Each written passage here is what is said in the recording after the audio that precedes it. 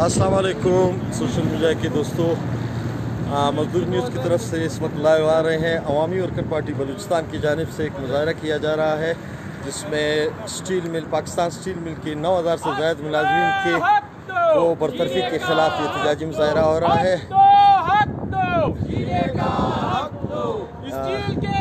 यूसुफ काकड़ की सदारत में ये हो रहा है। अवामी वर्कर पार्टी बलूचिस्तान के सदर डॉक्टर लुकमान साहब जनरल सेक्रेटरी के जेर सदारत में हो रहा है ये मुजाहरा।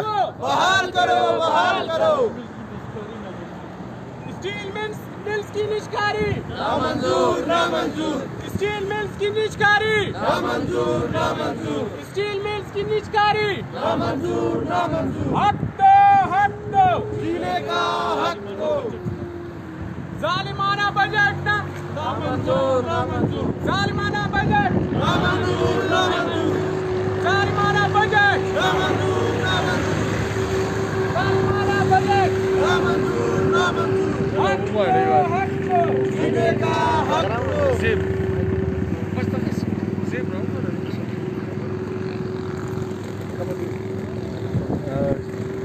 दोस्तों इस वक्त वर्कर रजिस्ट्रेशन बोला मेडिकल कॉलेज के सदर और लेबर फेडरेशन के रहनुमा मोहतरम मीर मीर ज़ैब शावानी साहब से गुजारिश करूँगा कि वो इस हवाले से थोड़ा सा अपने ख्याल का इजहार करें कि मज़दूरों का मिल को के ख़त्मे से और निचकारी से जो नौ हज़ार से ज़ायद ख़ानदान बेरोज़गार हो रहे हैं, उसके लिए मुख्तसर सी बात करें।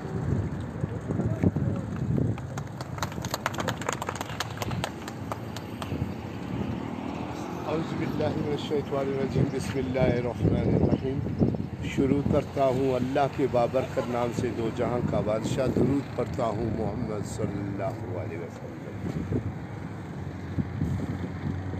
सबसे पहले मैं इशार से इब्तदा करूँगा न सर झुका के जियो न सर झुका के जियो न मुँह छुपा के जियो, दुश्मनों के नज़रों में नज़रें मिला के जियो। अगर एक रात कम जिए तो कम ही सही। अगर एक रात कम जिए तो कम ही सही। मगर मशले जला के जियो। आज पहले तो हम ये समझ रहे थे, ये जुल्म सितम बलूचिस्तान पे लाई जा रही है। शायद इसके जद में कोई और पाकिस्तान और नहीं आ जाए। लेकिन आज हम ये अंदाजन नहीं बल्कि हकीकता ये कह रहे हैं कि आज जो जुल्म पूरे पाकिस्तान में, आज जो जुल्म सितम पूरे पाकिस्तान में गर्म हो चुका है, मुलाजमीन को इमरान खान वज़ी अजम पाकिस्तान, ये कहता है कि मज़ीद मैं एक करोड़ मुलाजमीन डिप्टियों पे लगा दूँगा और उनको रोज़गार दूँगा। मैं कहता हूँ, इमरान खान को शर्म आना चाहिए। एक करोड़ मुलाजमीन लगाने के बजाय स्टील मिल से नौ हज़ार मुलाजमीन को बरतरफ किया गया और नौ हज़ार मुलाजमीन के घर के चूल्हे बुझ गए। अगर ये हालात बदस्तूर इसी तरह रहे अगर ये हालात बदस्तूर इसी तरह चलते रहे मेरे ख्याल में पूरे पाकिस्तान में एक माशी कत्ल होगा एक बेरोजगारी होगी डिगैती का बाज़ार गर्म होगा। लोग बेरोजगारी से घरों से बाहर निकलेंगे। चोरी होगा, वारदात होगा, लूटमार होगा। लोग कोई भी महफूज पाकिस्तान में कोई शरीफ शख्स महफूज नहीं रहेगा। अगर इस तरह जिन्होंने ये बजट पेश की, ये बजट में इसने पाँच रुपए का भी इजाफा नहीं किया। यही बंदा कल तक कह रहा था और अपने तकरीर में ये कह रहा था, यही इमरान खान यही कहता था कि भाई मैं जब आऊँगा वज़ीर आज़म पाकिस्तान बनूँगा तो लोगों को मजदूर पुरुष स्टेज पे मैं लाऊँगा, मजदूर को हर सहूलत दूँगा हर आसाइश दूँगा, वो लेने के लिए ऐसा कोई चीज़ नहीं होगा जो वो मेरे से मुतालबा करेंगे। आज बजाय मजदूरों को, बजाय यहाँ के मुलाजिमी को बजाय पाकिस्तान की मेहनत कशों को सब कुछ आसाइश देने के बजाय उनकी आसाइशों को हर तरह से हर हरदे से हर हथकंडे से वो अपने इस्तेमाल कर रहा है और इनसे ये छीनता हुआ जा रहा है। मैं कहता हूँ सबसे पहली बात ये आती है कि जो हमारे पाकिस्तान में अपने आप को ट्रेड यूनियन वाले कहते हैं अपने आप को लीडर कहते हैं अपने आप को अधिकार कहते हैं अपने आप को बड़े बड़े भोलिया और बुज़ुर्ग कहते हैं आज उनको चाहिए मतहद हो जाए यकजा हो जाए एक प्लेटफॉर्म पे खड़े रहे ताकि इमरान खान का मुँह तोड़ हम लोग जवाब दे दें। ये बजट ये बजट नहीं है, ये एक जुल्म है, ये एक सितम है। ये हम लोगों पे वो अंगारे गिराए हैं। यहाँ के मुलाजिमीन पाकिस्तान के मेहनत कशों के साथ वो जुल्म किया है, इसकी तारीख नहीं मिलती है। तो आज हम पहले जिस दिन बजट पेश हुआ, उस दिन भी हमने बजट को नामंजूर किया, और आज भी हम बजट को नामंजूर कहते हैं। ये बजट मुलाजमी मेहनत कश दुश्मनी पे ये बजट बनाया है। इंशाल्लाह इसके खिलाफ उठेंगे, मैदान पे निकलेंगे, हम अपने सीने तान लेंगे, गोली उनके चले, सीने हमारे हाजिर होंगे, सर हमारे हाजिर होंगे, लाठी वो चलाए, जो कुछ उनके दिल में आ जाए वो लोग करे, लेकिन बजट को कभी भी हम नहीं मानेंगे। इसके खिलाफ यकजा एक प्लेटफॉर्म पे मतहद होकर वही पुराना दौर इन लोगों को याद दिला देंगे। आज स्टील मिल के साथ, वहाँ के मेहनत कशों के साथ जो सितम हुआ है, अगर फ़ौरन सरकार ने दोबारा इनको बहाल किया, ठीक है, बहाल नहीं किया, मैं कहता हूँ कि बलूचिस्तान के गली गली में बलूचिस्तान के हर यूनियन में इनके लिए जलसा होगा। मतहद होंगे और इंशाल्लाह हम आगे की तरफ़ बढ़ेंगे और अपनी ताकत का मुजाहरा करेंगे और हम इनको दिखा देंगे। शुक्रिया साथी आईएमएफ का मजदूर कुश बजट। नामंजूर नामंजूर आईएमएफ का ब- मजदूर कुश बजट। नामंजूर नामंजूर। आईएमएफ का मजदूर कुश बजट। नामंजूर नामंजूर। अब अवामी वर्कर पार्टी के रहनुमा मिस मोहतरम मंजूर बलोच से गुजारिश है कि वह मुख्तसरा इस मसले में इस हवाले से अपने ख्याल का इजहार करें।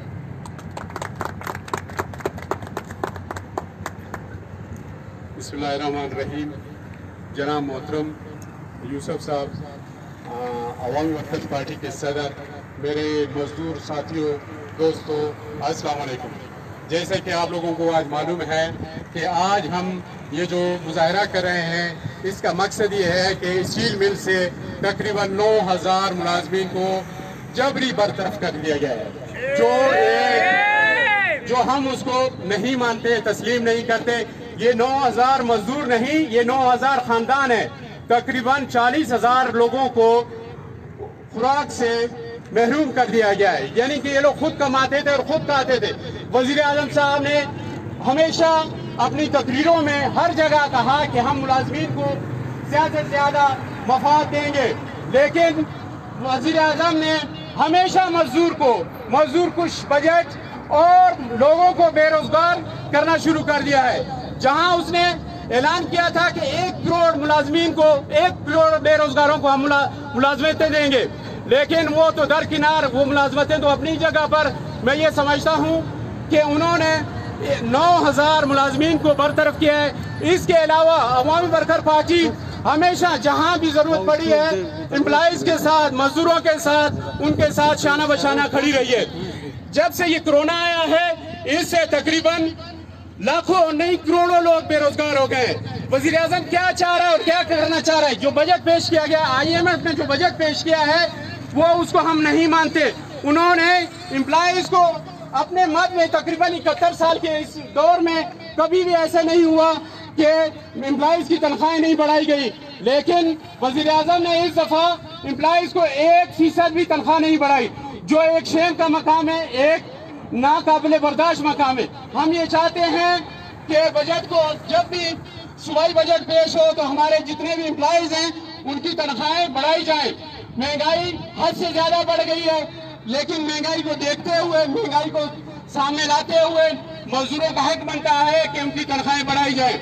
और हम स्टील मिल्स के मजदूरों के साथ जहाँ भी उन्हें ज़रूरत पड़ेगी जहाँ भी उनका हमारा साथ देना हो, साथ होगा इंशाल्लाह work, Awami workers party Balochistan उसके साथ रहेगी उसके शाना बशाना उसके हक के लिए काम करती रहेगी। और मैं ये कहना चाहूँगा जैसे कि आज बारह को जो बजट पेश किया गया उसमें एम्प्लॉयज़ को बल्कि पूरे लाचार लोगों को, गरीब लोगों को आज तक कुछ नहीं मिला। जब से वजी अजम इमरान खान की गवर्नमेंट आई है, हमें हमेशा यानी कि धचका मिला है और एम्प्लॉयज़ को पीछे से पीछे करने की कोशिश कर रहे हैं और उनको नुकसान पहुँचाने की कोशिश की जा रही है, जिसको हम बिल्कुल नहीं मानते। और इसके लिए हम, हम ये चाहते हैं कि अब अठारह को जो बजट पेश होगा बलोचिस्तान का, उसमें उनकी तनख्वाहें बढ़ाई जाए। बहुत शुक्रिया, वसलाम। अभी तमाम दोस्तों का जो यहाँ पे शिरकत की है, सबका शुक्रिया और आखिर में मैं इस मुजाहरे के सदर और अवामी वर्कर पार्टी बलूचिस्तान के सूबाई सदर मोहतरम यूसुफ काकर साहब से गुजारिश करूँगा कि वो आएँ और अपने ख्याल पैदा करें। शुक्रिया। बिस्मिल्लाहिर्रहमानिर्रहीम। मेरे मुआज़ दोस्तों अवामी वर्कर पार्टी की जानब से आज का ये मुजाहरा जो है, ये पूरे पाकिस्तान में स्टील मिल के मुलाजमीन को बेरोज़गार करने के खिलाफ आज पूरे पाकिस्तान में मुजाहरे किए जा रहे हैं सिर्फ़ स्टील मिल की नहीं, बल्कि ये मौजूदा जो जालिमाना बजट हुकूमत ने पेश किया है, बहत्तर साल में पहली बार ये बात सामने आई है कि महँगाई 200 फ़ीसद से भी ज़्यादा बढ़ चुकी है, लेकिन इसके मुकाबले में सरकारी मुलाजमीन और जो प्राइवेट वर्कर्स हैं, उनके लिए किसी किस्म के मराहत का कोई ऐलान नहीं किया गया। ये बात हम समझते हैं। हम बहुत अरसे से इस मुल्क के अंदर जो पॉलिसियाँ तरतीब दी जा रही है, हम ये कहते रहे ट्रेड यूनियन के हवाले से भी जब भी हम अपने एक्टिविटीज़ में होते थे तो हमारा मौकफ यही था कि वर्ल्ड बैंक आईएमएफ के इशारे पे इस मुल्क के अंदर जो पॉलिसियाँ तरतीब दी जा रही है वो किसी भी सूरत वर्कर्स के हक में नहीं हो सकती। इसलिए कि उनकी जो पॉलिसियाँ हैं वो सरमादारों के इशारों पे बनती जाती है। और वो सरमादारों के मफादात के तहफ़ के लिए पॉलिसियाँ तरतीब देती है। जो, जो वर्कर्स के मफादात के खिलाफ होती है। आज कोरोना की आड़ में हुकूमत ने जो पॉलिसियाँ तरतीब दी, जो फैसले किए, वो रोज़ रोशन की तरह तमाम दुनिया पे आया है कि इन्होंने हर तरफ़ से मजदूर की ज़िंदगी को अजरन बनाने की कोशिश की है।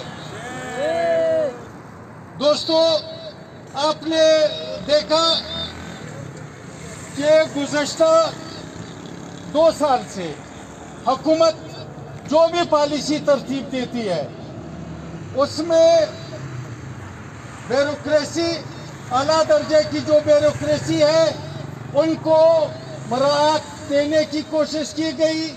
M N As M P As जो अमूमन नवाब सरदार, जागीरदार या वो उन तबकात से उनका ताल्लुक जो किसी न किसी हवाले से वो हुकूमत में घुसे रहते हैं। उनके लिए दोस्तों, इन्होंने जो मुराद मुख्तलिफ़ अवकात में अनाउंस किए हैं, मसलन कुछ अर्सा पहले सदर की तनख्वाह में नौ लाख रुपए का इजाफा किया गया। उसी तरह M P S, M N A के मुराद में लाखों के यकमुश्त लाखों के मुराद का इजाफा किया गया। जबकि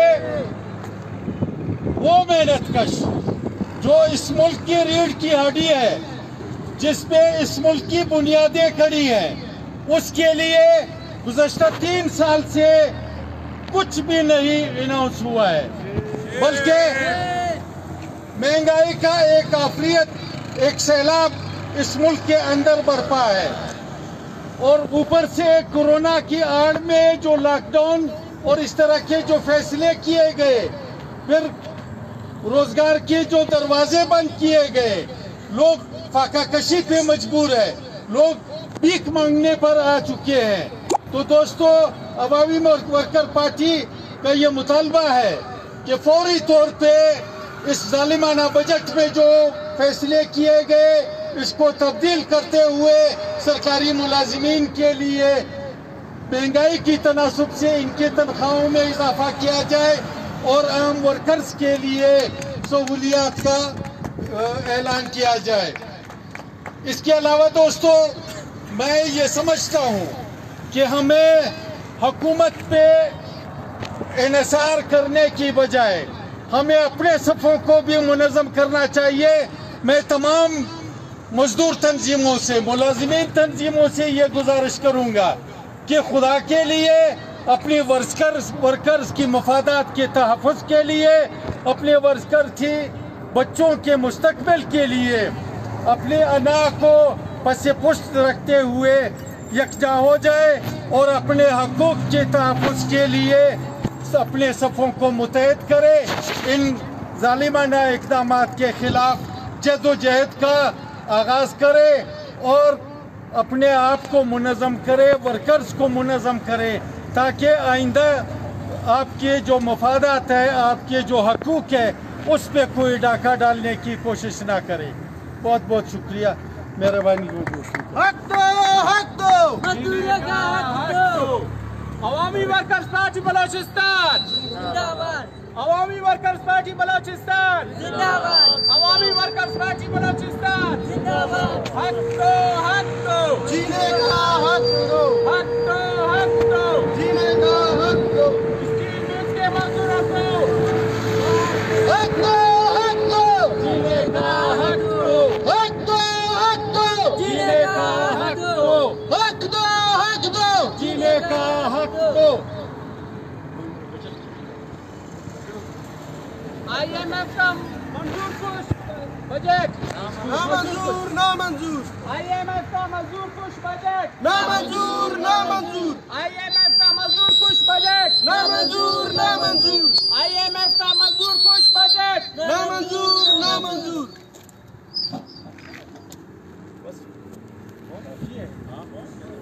तमाम दोस्तों का बहुत बहुत शुक्रिया। और मुजाहरा अख्ताम पजीर होता है इस वीडियो को तमाम दोस्त शेयर करें। बहुत शुक्रिया।